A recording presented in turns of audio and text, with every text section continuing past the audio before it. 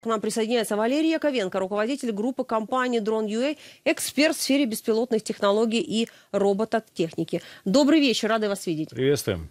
Приветствую. Валерий, я вот как раз в продолжение. Вы знаете, я попыталась найти реакцию на вот это заявление президента Украины Владимира Зеленского. Я пока не нашла, скажем так, словесной реакции со стороны там представителей Кремля. Ну, это такая история, другая совсем. Но посмотрела, что что-то происходит в самом вот э, все-таки Севастополе. А что происходит? В Крыму заметили водные заграждения на фоне объявления Украины о создании первого в мире флота морских дронов. Я напомню, это то заявление, о котором мы уже говорили. И и которая прозвучала из уст президента Украины Владимира Зеленского. Сделал он это заявление на Международном форуме оборонных индустрий. После этого в районе Севастопольской бухты, временно оккупированного полуострова, заметили какое-то заграждение. Об этом пишет мониторинговая группа «Крымский ветер». В Севастопольской бухте напротив памятника затопленным кораблям устанавливает какое-то заграждение.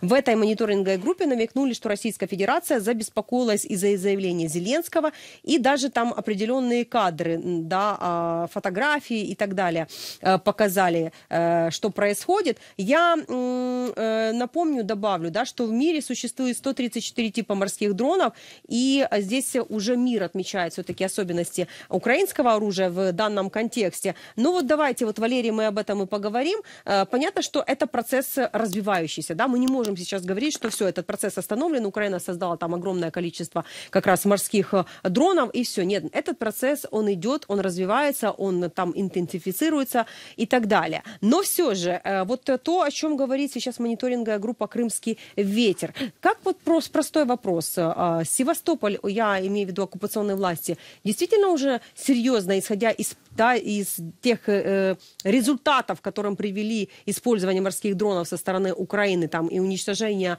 э, суден и так далее, действительно уже боятся все-таки тех морских дронов, даже не зная определенное количество, уже боятся оккупационные власти в Крыму? Речь не только об оккупационных властях в Крыму, речь о террористических организациях, о представителях террористов а, и на территории всей акватории Черного моря. А, вся акватория Черного моря на текущий момент контролируется украинским роботизированным флотом. Это не константа, это не достигнутая какая-то, достигнутый параметр, который ну, необходимо а, просто констатировать, это постоянный процесс усовершенствования. Украина не стоит на месте, она постоянно вносит те или иные новшества для того, чтобы усиливать свои позиции, при этом сохраняя безопасность украинских военных. Украина показывает всему миру, каким образом можно защищать собственные акватории, не обладая а, огромным флотом а, в противовес нашим оппонентам, а, представителям террористических организаций. Поэтому а, здесь мы можем четко говорить о том, что Украина продемонстрировала уже достигнутые определенные наработки и дальше продолжают усиливать свои позиции. И, естественно, панические э, настроения на территории болот вызываются, они возникают, они продолжают существовать. И вы можете сами увидеть, что интенсивность работы Черноморского флота, она максимально снижается, и количество кораблей, боеспособных кораблей на территории Черного моря, оно уменьшается как э, благодаря действий э, робототехники в э, украинской территории, так и в международных водах. Скажите, Валерий, вот президент, да, к которому обращалась и моя коллега Лейла, вот, он сказал о том, что вот такая идея о создании вот этого первого в мире флота морских дронов, ну, он красиво, конечно, сказал, отметил, что вот э, такая идея в целом, э, далее зацитирую главу украинского государства, э, лишает смысла российские военные корабли. Ну как, вот э, реально к этому идет? Потому что, ну, я понимаю, что в этом плане есть даже не бравада, но определенный посыл, который, знаете, делают украинские высшие э, чины, высшее руководство, и в том числе военные, которые неоднократно говорили о том, что, в принципе, э, Черноморский флот Российской Федерации, у него есть только два варианта. Да, с учетом того, что происходит. Или вы убираетесь в Освояси, куда-то там, я не знаю, там в Новороссийск какой-то, да, или просто вас ждет уничтожение, да, насколько вот вы согласны вот с такой вилкой, да, для Черноморского флота РФ? Когда мы видим, перед собой противостояние небольших роботизированных суден, маневренных, дешевых, массовых в производстве, которые можно смасштабировать просто до небес, и мы видим перед собой огромный невозобновляемый флот больших суден, которые нужно производить и негде, а, вывод напрашивается сам собой. Это просто вопрос времени, когда плод, э, когда этот флот действительно найдет свое место на дне э, украинского Черного моря. Поэтому э, я абсолютно согласен с логикой того, что эволюционно время уже прошло, и современная робототехника в состоянии выдавить а, устаревшие технологии с нашей акватории. А, в качестве примера хочу привести, а, ну, фактически а, небольшие устройства составляют огромную опасность для того флота, который остался у Черноморского флота, и де-факто мы видим, что они стараются спрятать свои свои корабли, чтобы их не поразили украинские роботизированные суда. А скажите, Валерий, смотрите, вот мы видели работу, ну, э, э, говорим о том, о чем можем говорить, потому что до этого мы видели и видео и так далее. Я думаю, что, скорее всего, анализировали эту историю и а, со стороны наш, на, на, наших врагов, да, когда CNN а, брали комментарии у главы службы безопасности Украины, да, Василия Малюка, соответственно, и там была показана вот эта работа да, вот этого C-Baby, так они назвали, там вот, вот, вот этот девайс выполнял определенные задачи, и, как мы понимаем, по даже тому видео, он все-таки вот э, его делает, да, вот уделывает ту опору, тот мост и так дальше. Вот я хотел бы у вас спросить, вот эта история, это же не только про флот, да, как мы понимаем. Это реальная история про э, цели, которые для Украины являются законными, э, любая инфраструктура где бы она ни располагалась, да, порты, где-то какие-то судоремонтные вещи, тот же Крымский мост или Керченский, как ты его не называй, все равно он является нормальной целью для вот этих э, морских малышей. Украинские цели находятся на территории, оккупированной территории Украины. Если иначе не говорит э, наше представительство, ну, наше правительство, служба безопасности Украины или администрация президента. А все технологии, которые разрабатываются, все технологии, которые производятся в Украине, они предназначены для, для одного, для защиты нашей страны. И в том числе для освобождения украинского Крыма. Поэтому, если какие-то инфраструктурные инфраструктурные объекты, если какие-то объекты военной инфраструктуры находятся на этих территориях, это однозначно законные украинские цели. Другие э, моменты, другие атаки, другие бавовны, которые может э, случаться на территории болот, э, это уже э, контекст, который необходимо очень аккуратно соблюдать, э, слушая в первую очередь информацию от наших официальных лиц. Но вы действительно правы. Зона действия робототехники, которую создает Украина, исчисляется тысячами километров. Вот знаете, вот хотел бы как раз с вами эту, эту историю и ну, не то чтобы развить, но все же, да, вы человек, который непосредственно задействован во множестве историй, да, не все, не все могут быть где-то, знаете, быть преданы публичности, да, но, но в целом, Валерий, вот как-то мы с вами, по-моему, э, однажды говорили, и вот я как раз у вас спросил о, о вот этих расстояниях, да, Получается, что тысяча это вот не то чтобы минимум, но это, знаете, это как вот, когда в России падает рубль, там есть такая психологическая отметка сот, соточка. Да, вот будет соточка, будет 110, скорее всего 130-150, мы еще увидим, как они будут разгребать эти проблемы, которые сейчас Путин им создал. Да, и в социальной сфере, и в экономике, да. Но вот эта отметка тысячу километров, она уже не то чтобы там недостижимая, вот мы уже об этом говорим как определенном таком, ну, ну в порядке вещей, да? Абсолютно верно. Это тот показатель, на который украинские разработчики давно вышли. И по заявлениям а, наших официальных лиц не только в воздухе, но даже на воде.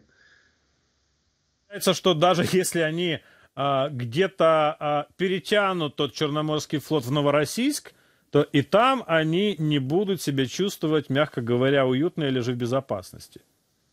Я считаю, что Украина с помощью нового роботизированного флота, который она производит и создает с нуля, в состоянии и уже де-факто контролирует всю акваторию Черного моря. Угу. А если говорим мы о контроле определенном, даже, знаете, вот тех объектов, которые наблюдаются на довольно-таки больших расстояниях и не только там в близлежащих областях Российской Федерации, которые граничат с нашим государством, будь то Брянская, Курская, где мы видим там разные аэродромы, Энгельси и так далее. Я уже просто вот сейчас сразу не вспомню, но меня интересует один нюанс. Скажите, а, Валерий, есть такой м, объект, законная цель для украинской армии, для нашего государства, как, знаете, когда вот ты ложишься спать и смотришь, кто что где взлетает, да, вот я когда смотрю, что там с оленьи что-то вылетает, ты понимаешь, что вот эти миги, да, они вот будут лететь час, два, три, возможно, баллистика и так далее, и так далее. Но я посмотрел там до этой линии, там, я не знаю, по разным, там, сколько, я уже не помню, но порядок тысячи, там, полторы-две. Да, вот туда, далеко куда-то от Москвы, да, получается у нас на северо-запад. Вот, а мы можем вот, вот, чтобы вот там люди, которые садятся там в самолеты, понимали, что лучше этого не делать, потому что и там, может, не морские малыши, может, воздушные малыши смогут достать, если не тысяча, то полторы, две, две с половиной, Валерий. Вы знаете, прелести роботизированного флота, а, воздушного или морского, заключается в том, что запускать их необходимо не только с, невозможно, не только с территории Украины. Э, речь о том, что украинское оборудование, да, оно находится на территории Украины, да, оно прекрасно защищает всю территорию вокруг нас, но если мы вспомним одно из интервью э, главы нашего ГУРа, э, там звучала фраза о том, что определенные объекты могут э, вызывать бавовну у себя из-за взлетов дронов на территории болот. И здесь можно говорить о том, что небольшие роботизированные платформы суда, они могут создавать угрозы для флота РФ не только на территории Черного моря, но в том числе и в других акваториях. А речь идет о том, что а, не те объекты, которые находятся где-то в глубинке РФ, они не находятся в безопасности. Дело в том, что бавовна можно, может возникнуть и там. Все это будет зависеть от желаний э, украинской разведки, представителей, представителей украинских военных, от администрации президента, от э, политических веяний и воли. Украина уже э, стала тем государством, которое не просто сотрудничает с западными партнерами с точки зрения поставки оборудования для защиты демократии. Украина это та страна, которая производит это оборудование и производит мощь и силу такую, и причем это делается и непосредственно инновационными инструментами, которая в состоянии загнать в угол и заставить бояться любого представителя на территории болот. Поэтому безопасных мест мест нет. Будь это европейская часть болот, либо это Дальний Восток, если это Черное море, либо это какая-либо другая акватория. Прелести роботизированных флотов и искусственных интеллектов и инновационных технологий, все то, вокруг чего создает Украина свои технологические новшества, как раз в том, чтобы снизить до минимума риски для украинских военных и максимально эффективно использовать те технологии цивилизации, к которым мы имеем непосредственный доступ. А большинство из этих технологий мы даже уже и создаем как лидер в мире. Да, это правда, это истина. И вот хотелось бы еще продолжение. Украина в будущем сможет совершать больше атак на российские корабли. Об этом заявляет вице-премьер-министр Украины, министр цифровой трансформации Михаил Федоров. По его словам, в этом году производство именно украинских дронов выросло более чем в 100 раз по сравнению с прошлым. Сейчас Украина продолжает тестировать системы искусственного интеллекта, которые смогут обнаруживать цели на расстоянии нескольких километров, направлять к ним беспилотники, даже если внешняя связь будет нарушена средством средствами радиоэлектронной борьбы противника. Пока что все на этапе тестирования, але пока что все на этапе тестирования, но некоторые из приобретаемых нами дронов уже используют искусственный интеллект для распознавания целей. В лесу он может обнаружить цель и распознать, человек это или танк, или определенная машина. Эти технологии активно используются. Э, интересно просто так э, Михаил говорит. И, э, Человек или танк, не понравилось. Не, ну, ну... Не, ну как бы на поверхности улыбка, да, но мы понимаем, что это все все равно вкладывается в определенные технологии, которые предоставляют тот анализ, да, вот картинки сразу же фиксируют вот эту цель. Лейла, прошу. Поэтому вот то, что они там рисуют, да, вот сегодня мы давали информацию. Два самолетика Ту-95. Да, Warzone, да, информацию дали, там рисуют якобы для обмана и так далее, я имею в виду россияне рисуют, но на самом деле, судя по всему, технологии как раз э, работает Украина в том направлении, что тут будет очень быстро можно понять, где обман, где где-то нарисовали там на аэродроме Савослейки и так далее. Ну, хороший, кстати, аэродром, кто не видел, пожалуйста, посмотрите Савослейку, как она выглядит. Хороший в смысле сейчас абсолютно обратном я имела в виду. Планы амбициозные, планы серьезные, планы э, конструктивные, и понятно, что они базируются действительно на тех возможностях, которые сегодня имеет Украина. И, кстати, тут стоит отметить, именно Украина имеет благодаря Украине. Тут вот так коротко, возможно, кому-то такой тезис не совсем понятный, но он э, понятен и нашим партнерам, потому что Пентагон уже да, несколько раз давал оценку тому, как Украина сейчас э, производит дроны, и как раз если мы говорим о создании дронов и в контексте морского флота и так далее, что очень важно. Вот, Валерий, ну вот э, действительно амбициозные планы, но, скажем так, военные действия Российской Федерации каким-то образом эти процессы все-таки тормозят, либо же здесь это все-таки направление развивается независимо от того, как действует на сегодняшний день наш противник на фронте? А, все развивается, все движется вперед. А, никто не в состоянии замедлить а, развитие технологий и развитие возможностей для производства новых технологий на территории Украины. Нам нужно больше партнеров, и нам необходимо больше инвестиций в сферу высоких технологий, в сферу безопасности, и нам необходимо привлекать сюда западные компании, чтобы они открывали свои представительства, офисы, а, начинали производить оборудование на территории Украины, и это, в принципе, уже происходит. Украина а, формируется как определенный такой а, строительный, строительная площадка инновационных технологий безопасности будущего, где есть инженеры, где есть доступ к ресурсам, где есть понимание и очень быстрая обратная связь от представителей правительства и государства.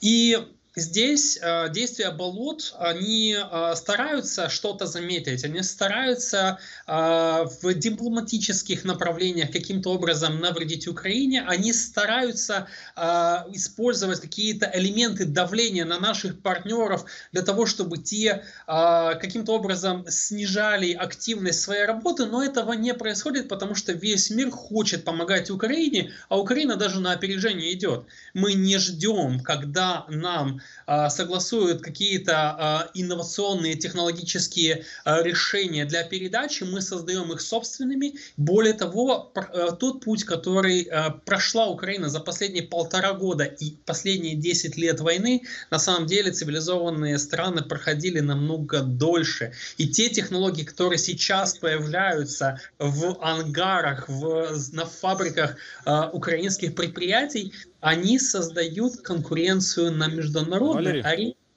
Угу.